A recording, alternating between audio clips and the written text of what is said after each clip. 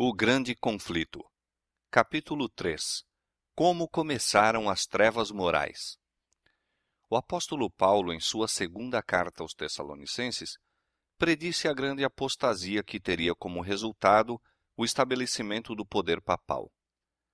Declarou que o dia de Cristo não viria sem que antes venha a apostasia e se manifeste o homem do pecado, o filho da perdição, o qual se opõe e se levanta contra tudo o que se chama Deus ou se adora, de sorte que se assentará como Deus no templo de Deus, querendo parecer Deus. E ainda mais, o apóstolo adverte os irmãos, já o mistério da injustiça opera. Mesmo naqueles primeiros tempos, viu ele, insinuando-se na igreja, erros que preparariam o caminho para o desenvolvimento do papado. Pouco a pouco, a princípio furtiva e silenciosamente, e depois mais às claras, à medida em que crescia em força e conquistava o domínio na mente das pessoas, o mistério da iniquidade levou avante sua obra de engano e blasfêmia.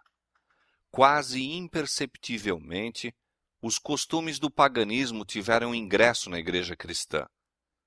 O espírito de transigência e conformidade fora restringido durante algum tempo pelas terríveis perseguições que a igreja suportou sob o paganismo.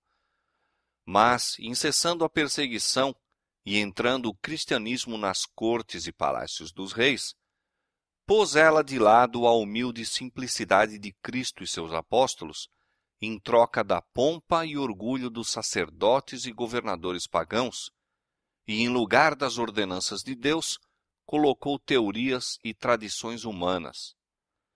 A conversão nominal de Constantino, na primeira parte do século IV, causou grande regozijo, e o mundo, sob o manto da justiça aparente, introduziu-se na igreja. Progredia rapidamente a obra de corrupção.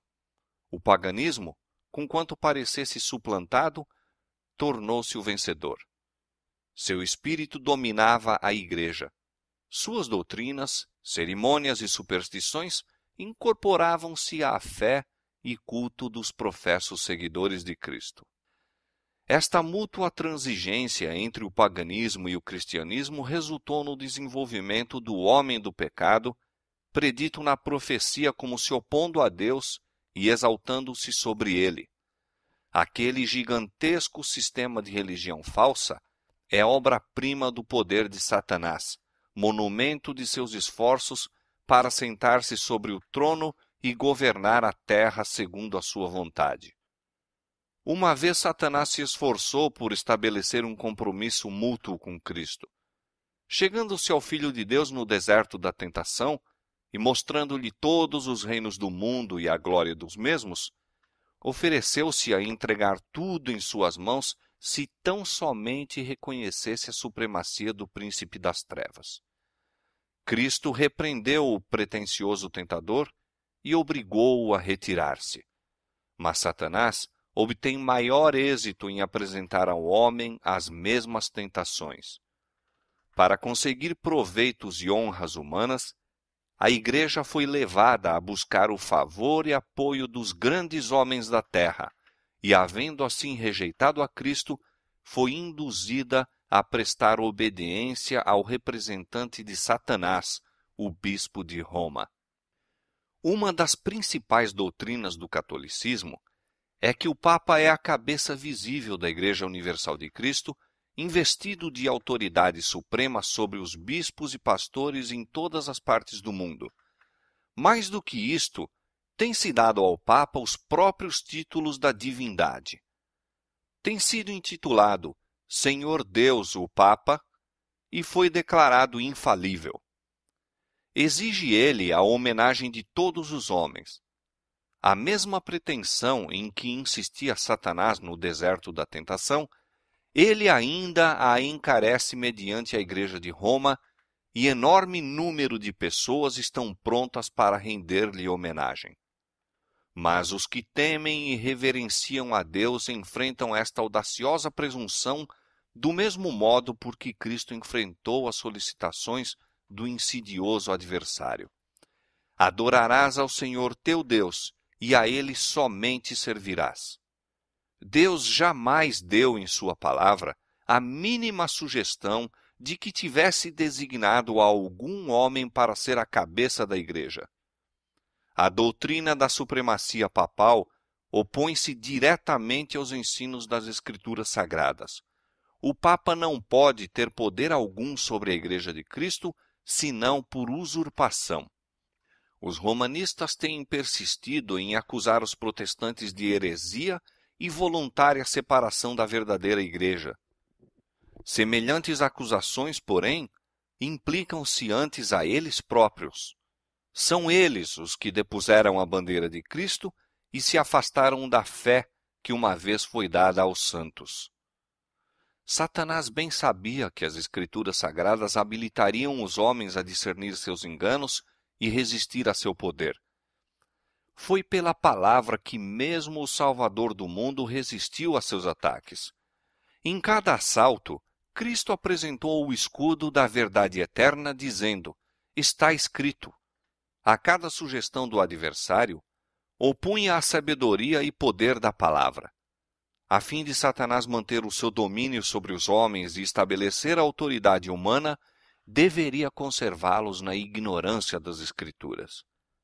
A Bíblia exaltaria a Deus e colocaria o homem finito em sua verdadeira posição. Portanto, suas sagradas verdades deveriam ser ocultadas e suprimidas. Esta lógica foi adotada pela Igreja de Roma. Durante séculos, a circulação da Escritura foi proibida. Ao povo era vedado lê-la ou tê-la em casa, e sacerdotes e prelados sem escrúpulos interpretavam-lhe os ensinos de modo a favorecerem suas pretensões. Assim, o chefe da igreja veio a ser quase universalmente reconhecido como o vigário de Deus na terra, dotado de autoridade sobre a igreja e o Estado. Suprimido o revelador erro, agiu Satanás à vontade. A profecia declarara que o papado havia de cuidar em mudar os tempos e a lei.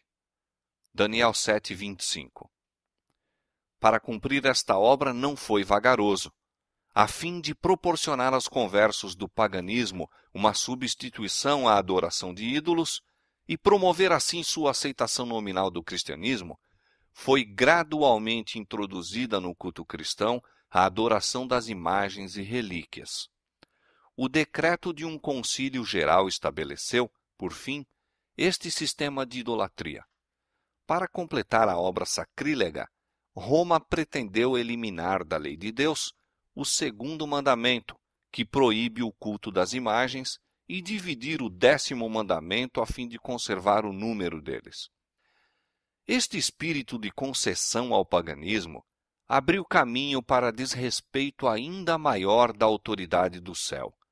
Satanás, operando por meio de não consagrados dirigentes da igreja, intrometeu-se também com o quarto mandamento e tentou pôr de lado o antigo sábado, o dia que Deus tinha abençoado e santificado, e exaltando em seu lugar a festa observada pelos pagãos como o venerável dia do sol. Esta mudança não foi, a princípio, tentada abertamente. Nos primeiros séculos, o verdadeiro sábado foi guardado por todos os cristãos. Eram estes ciosos da honra de Deus e, crendo que sua lei é imutável, zelosamente preservavam a santidade de seus preceitos. Mas com grande argúcia, Satanás operava mediante seus agentes para efetuar seu objetivo. Para que a atenção do povo pudesse ser chamada para o domingo, foi feito deste uma festividade em honra da ressurreição de Cristo. Atos religiosos eram nele realizados. Era, porém, considerado como um dia de recreio, sendo o sábado ainda observado como dia santificado. A fim de preparar o caminho para a obra que intentava cumprir, Satanás induzira os judeus, antes do advento de Cristo, a sobrecarregarem o sábado com as mais rigorosas imposições, tornando sua observância um fardo. Agora, tirando vantagem da falsa luz sob a qual ele assim fizera com que fosse considerado, lançou o desdém sobre o sábado como instituição judaica. Enquanto os cristãos geralmente continuavam a observar o domingo como festividade prazenteira, ele os levou, a fim de mostrarem seu ódio ao judaísmo, a fazer do sábado dia de jejum, de tristeza e pesar.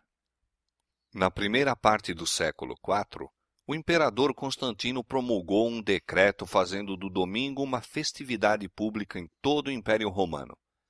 O dia do sol era venerado por seus súditos pagãos e honrado pelos cristãos. Era política do imperador unir os interesses em conflito do paganismo e cristianismo. Com ele se empenharam para fazer isto os bispos da igreja, os quais, inspirados pela ambição e sede do poder, perceberam que, se o mesmo dia fosse observado tanto por cristãos como pagãos, promoveria a aceitação nominal do cristianismo pelos pagãos e assim adiantaria o poderio e glória da Igreja. Mas, conquanto muitos cristãos tementes a Deus fossem gradualmente levados a considerar o domingo como possuindo certo grau de santidade, ainda mantinham o verdadeiro sábado como o dia santo do Senhor e observavam-no em obediência ao quarto mandamento. O arque-enganador não havia terminado a sua obra.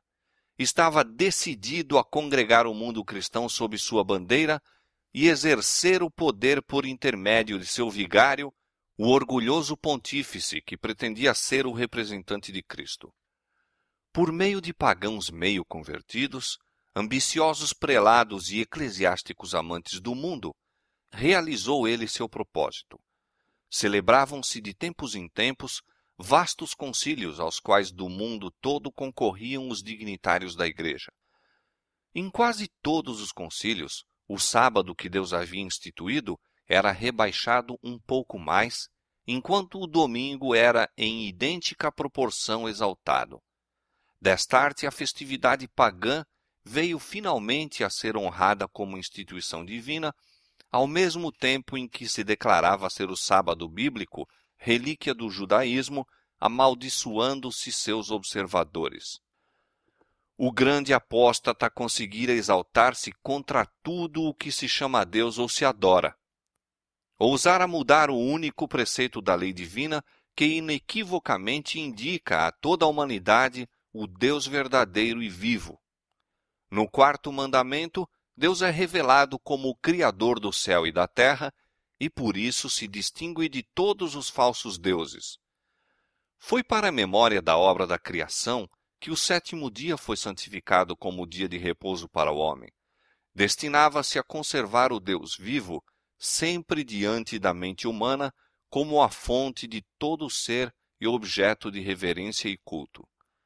Satanás esforça-se por desviar os homens de sua aliança para com Deus e de prestarem obediência à sua lei. Dirige seus esforços, portanto, especialmente contra o mandamento que aponta a Deus como o Criador. Os protestantes hoje insistem em que a ressurreição de Cristo no domingo fê-lo o sábado cristão. Não existe, porém, evidência escriturística para isto. Nenhuma honra semelhante foi conferida ao dia por Cristo ou seus apóstolos.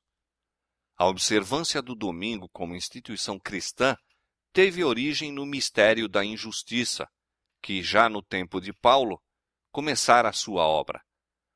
Onde e quando adotou o Senhor este filho do papado? Que razão poderosa se poderá dar para uma mudança que as Escrituras não sancionam? No século VI, tornou-se o papado firmemente estabelecido. Fixou-se a sede de seu poderio na capital imperial e declarou-se ser o bispo de Roma a cabeça de toda a igreja. O paganismo cedera lugar ao papado. O dragão dera à besta o seu poder e o seu trono e grande poderio. Apocalipse 13, 2. E começaram então os 1260 anos da opressão papal, preditos nas profecias de Daniel, capítulo 7, 25, e Apocalipse, capítulo 13, versos 5 a 7. os cristãos foram obrigados a optar entre renunciar sua integridade e aceitar as cerimônias de culto papais, ou passar a vida nas masmorras, sofrer a morte pelo instrumento de tortura, pela fogueira ou pela machadinha do verdugo. Cumpriam-se as palavras de Jesus, e até pelos pais e irmãos e parentes e amigos sereis entregues, e matarão alguns de vós, e de todos sereis odiados por causa do meu nome. Desencadeou-se a perseguição sobre os fiéis com maior fúria do que nunca, e o mundo se tornou um vasto campo de batalha. Durante séculos, a Igreja de Cristo encontrou refúgio no isolamento e obscuridade. Assim diz o profeta: A mulher fugiu para o deserto, onde já tinha lugar preparado por Deus para que ali fosse alimentada durante mil e duzentos e sessenta dias. Apocalipse 12, verso 6. O acesso da Igreja de Roma ao poder assinalou o início da escura Idade Média. Aumentando seu poderio, mais se adensavam as trevas. De Cristo, o verdadeiro fundamento, transferiu-se a fé para o Papa de Roma. Em vez de confiar no Filho de Deus para o perdão dos pecados e para a salvação eterna, o povo olhava para o Papa e para os sacerdotes e prelados a quem alegava autoridade. Ensinava-se-lhe ser o Papa seu mediador terrestre e que ninguém poderia aproximar-se de Deus senão por seu intermédio.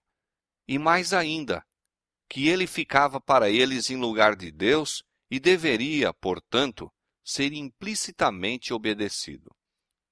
Esquivar-se de suas disposições era motivo suficiente para se infligir a mais severa punição ao corpo e alma dos delinquentes.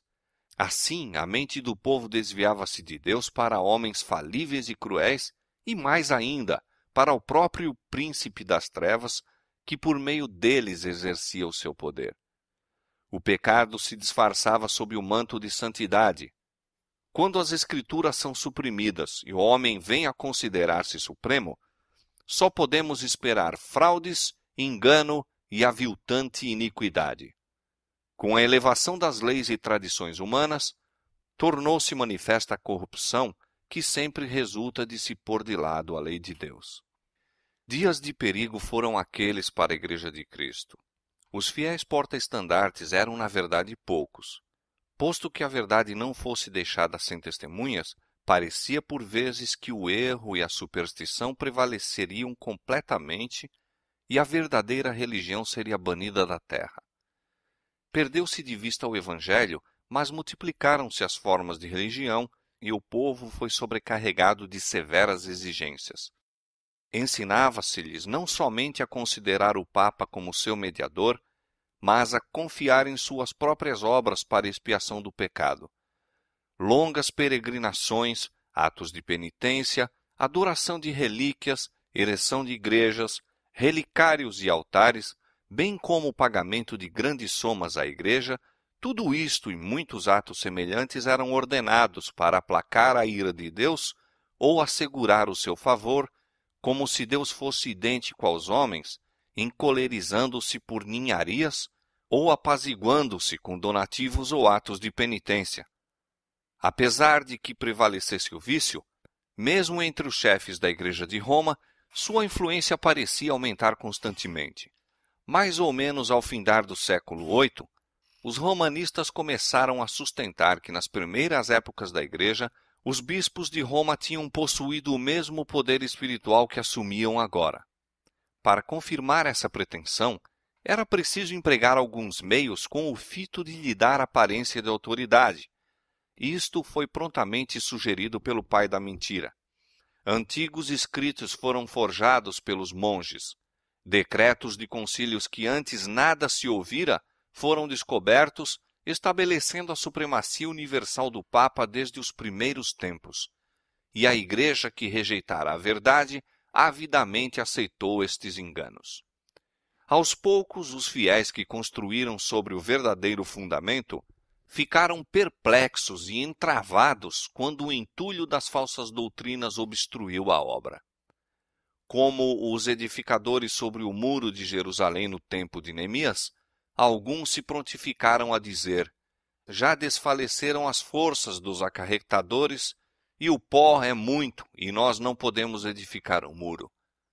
Cansados da constante luta contra a perseguição, fraude, iniquidade e todos os outros obstáculos que Satanás pudera engendrar para deter-lhes o progresso, alguns que haviam sido fiéis edificadores desanimaram e, por amor da paz e segurança de sua propriedade e vida, desviaram-se do verdadeiro fundamento.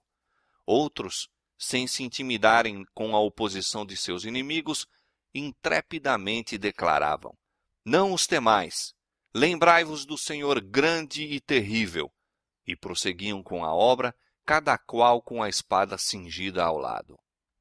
O mesmo espírito de ódio e oposição à verdade tem inspirado os inimigos de Deus em todos os tempos, e a mesma vigilância e fidelidade têm sido exigidas de seus servos. As palavras de Cristo aos primeiros discípulos aplicam-se aos seus seguidores até ao final do tempo. E as coisas que vos digo, digo-as a todos. As trevas pareciam tornar-se mais densas generalizou-se a adoração das imagens. Acendiam-se velas perante imagens e orações se lhes dirigiam. Prevaleciam os costumes mais absurdos e supersticiosos. O espírito dos homens era a tal ponto dirigido pela superstição que a razão mesmo parecia haver perdido o domínio. Enquanto os próprios sacerdotes e bispos eram amantes do prazer, sensuais e corruptos, só se poderia esperar que o povo que os tinha como guias se submergisse na ignorância e vício. Outro passo ainda deu a presunção papal quando, no século XI, o Papa Gregório VII proclamou a perfeição da Igreja de Roma. Entre as proposições por ele apresentadas, uma havia declarando que a Igreja nunca tinha errado nem jamais erraria segundo as Escrituras mas as provas escriturísticas não acompanhavam a afirmação. O altivo pontífice também pretendia o poder de depor imperadores e declarou que sentença alguma que pronunciasse poderia ser revogada por quem quer que fosse, mas era prerrogativa sua revogar as decisões de todos os outros. Uma flagrante ilustração do caráter tirânico do Papa Gregório VII se nos apresenta no modo por que tratou o imperador alemão Henrique IV. Por haver intentado desprezar a autoridade do Papa, declarou-o este excomungado e destronado. Aterrorizado pela deserção e ameaças de seus próprios príncipes, que por mandado do Papa eram incentivados na rebelião contra ele, Henrique pressentiu a necessidade de fazer as pazes com Roma em companhia da esposa e de um servo fiel, atravessou os Alpes em pleno inverno, a fim de humilhar-se perante o Papa. Chegando ao castelo para onde Gregório se retirara, foi conduzido, sem seus guardas, a um pátio externo e ali, no rigoroso frio do inverno, com a cabeça descoberta, descalço e miseravelmente vestido, esperou a permissão do Papa a fim de ir à sua presença. O pontífice não se dignou de conceder-lhe perdão, senão depois de haver ele permanecido três dias jejuando e fazendo confissão. Isso mesmo, apenas com a condição de que o imperador esperasse a sanção do Papa antes de reassumir as insígnias ou exercer o poder da realeza. E Gregório, envaidecido com seu triunfo, jactava-se de que era seu dever abater o orgulho dos reis. Quão notável é o contraste entre o orgulho deste altivo pontífice e a mansidão e suavidade de Cristo, que representa a si mesmo à porta do coração a rogar que seja ali admitido, a fim de poder entrar para levar perdão e paz, e que ensinou a seus discípulos: Qualquer que entre vós quiser ser o primeiro, seja vosso servo. Os séculos que se seguiram testemunharam aumento constante de erros nas doutrinas emanadas de Roma. Mesmo antes do estabelecimento do papado, os ensinos dos filósofos pagãos haviam recebido atenção e exercido influência na igreja.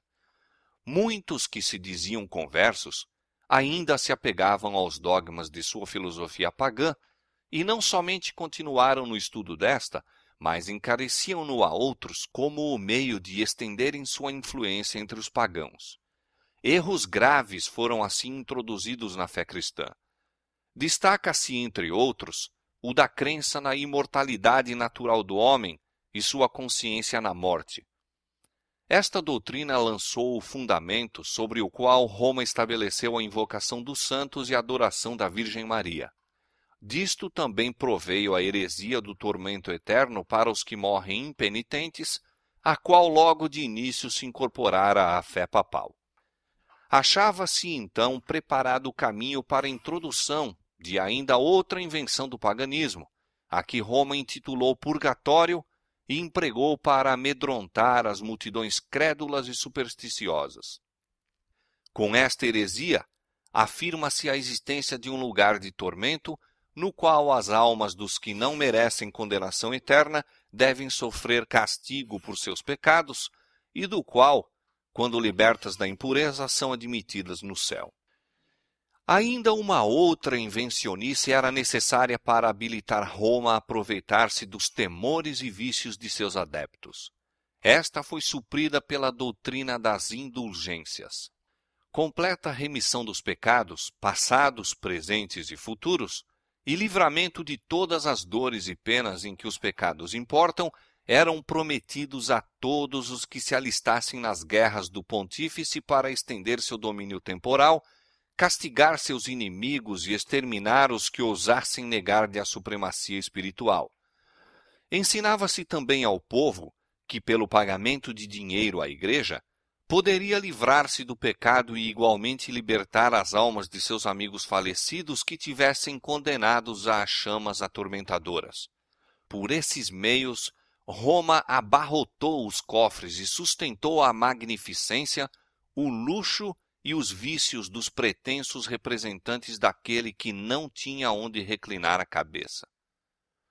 A ordenança escriturística na ceia do Senhor fora suplantada pelo idolátrico sacrifício da missa. Sacerdotes papais pretendiam, mediante esse disfarce destituído de sentido, converter o simples pão e vinho no verdadeiro corpo e sangue de Cristo, com blasfema presunção pretendiam abertamente o poder de criar em Deus o Criador de todas as coisas. Aos cristãos exigia-se, sob pena de morte, confessar sua fé nesta heresia horrível que insulta ao céu. Multidões que a isto se recusaram foram entregues às chamas. No século XIII foi estabelecido a mais terrível de todas as armadilhas do papado a Inquisição. O príncipe das trevas trabalhava com os dirigentes da hierarquia papal. Em seus concílios secretos, Satanás e seus anjos dirigiam a mente de homens maus, enquanto, invisível entre eles, estava um anjo de Deus, fazendo o tremendo relatório de seus iníquos decretos e escrevendo a história de ações por demais horrorosas para serem desvendadas ao olhar humano. A grande Babilônia estava embriagada do sangue dos santos.